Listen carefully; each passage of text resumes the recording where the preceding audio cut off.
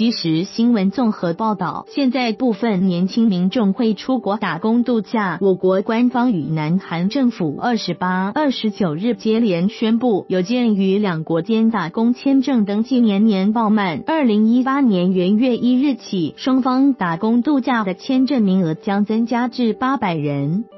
我外交部指出，一百零五年起，台湾、南韩之间的青年打工度假签证名额为六百人，但南韩年轻人来台打工度假的人数比其他国家来台打工之青年人数还要多，因此与南韩政府协商成功，我国与南韩将互相开放增加两百名打工签证名额，自二零一八年元月一日起生效。